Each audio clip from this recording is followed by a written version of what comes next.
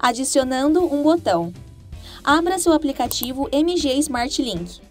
Com o dispositivo Smart R aberto, selecione a opção TV. Clique no botão Editar. Botão Copiar. Depois em OK.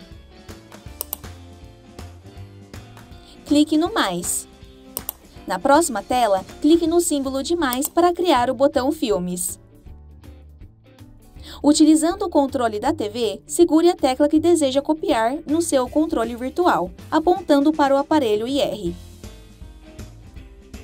Aguarde a memorização. Caso não ocorra, repita o processo apontando o controle em outros ângulos. Após a memorização ser concluída, nomeie seu botão virtual com o nome que desejar.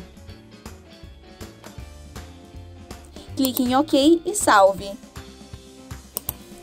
Pronto! Agora você já possui um botão personalizado.